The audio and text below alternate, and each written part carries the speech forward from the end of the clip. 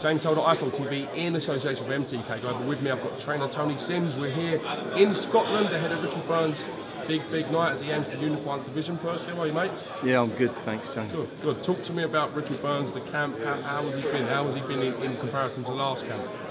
He's been great. We've uh, we started sooner in this camp, so we've had a longer camp. First week in January, we started. Um, we know the magnitude of this fight he, he's attempting to uh, make more history as a Scottish fighter, to obviously be the first Scottish fighter to unify world titles. And uh, it's all about making history for him, but also about winning the fight and then going on to you know these big fights in America that Ricky's craved for his whole career. And obviously uh, financially making himself secure. So this fight's the biggest fight of his whole career on Saturday night. Is it a worry for you guys that you haven't been able to find the most footage on Julius Indongo compared to other fighters that Ricky's faced in the past? Um, a little bit. We had this problem in the last fight when he boxed Kiryl Relikh, the same sort of problem. Uh, he, uh, there wasn't hardly any footage of him. So with these fighters that fight on small bills like Indongo's done throughout his career, small builds in, in Namibia. Uh, it's very, very difficult to find material. There's like one or two rounds of when he's actually knocking people out, so you can't really see a lot from that. Uh, obviously, his world title shot, he won it in 40 seconds, so you can't take anything from that. But what we've prepared for, we've prepared uh, for a great, fast, hard punching fighter. We've prepared for like a Terence Crawford, and uh, because we know the importance of this fight and what it can lead to. Ricky Burns is the most successful boxer in Scottish history. When you look at some of the great fighters they've had, the likes of Ken Buchanan, even Benny Lynch going way, way back, and Jim Watt. How yeah. proud are you of, of, the man and the job that Ricky's done since he's been?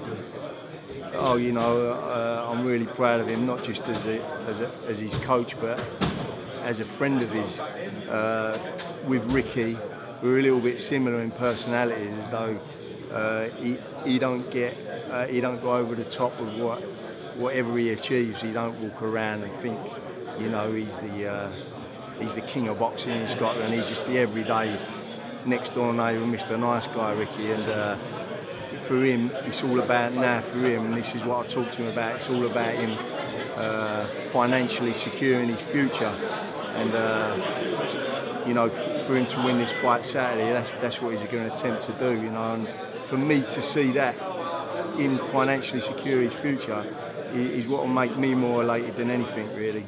How high would this win rank uh, in, in terms of Ricky's wins in his career thus far? Unifying the titles, you know, is a, a massive achievement. Like obviously, he's won the world titles at three different weights, so um, that was obviously a massive thing for him. Uh, but you know, all these fights now, as you say, he's 34. Uh, you know, how much more longer can he go on for? Maybe another year or two, depending on the victories. But you know, every fight now is a career-defining fight for him. So it's so important for him to come out victorious Saturday night.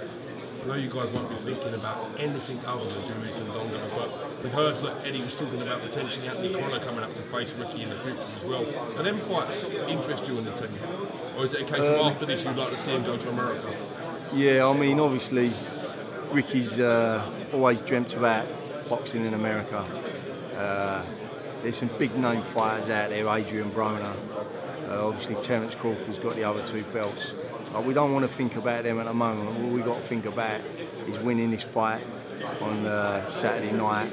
He's a difficult opponent in, in, the fact that he's very tall and he's awkward and he's fast. So it's going to be a difficult night's work for Ricky. It's not going to be easy, this fight. And, um, you know, he, he needs to win this fight before we talk about anyone else. But if you're talking about well, obviously what his dreams are. His dreams are obviously going to the States and uh, you know, defending them titles in the States on a big card over there in Vegas where he loves to go on holiday every time he goes on holiday. I know he's been fought in the States once against Figueroa. That was at the Farm Arena, so no doubt he'll be aiming next time to get at Las Vegas and some of these Yeah. big, big, big nights. I mean, that was that was more like Mexico than uh, in the States. I think there was like six fat. We was actually two miles away from the border of Mexico on that fight, and uh, they was telling us in the hotel it was one of the most dangerous places to be uh, where we was. And when we walked in the arena, there was like six thousand uh, Mexicans packed in there at night, fanatical. Uh, so it wasn't like fighting in the States that fight, but he- his old dream is to fight in Vegas. That's what his dream is, and uh, if he's got if he's got the belts, he's unified the belts.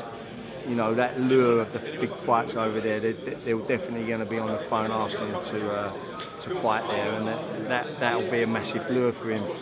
The Crolla fight would be a good fight if Anthony come up a weight. Obviously, uh, Ricky would be looking at going to the States first if he comes victorious on Saturday.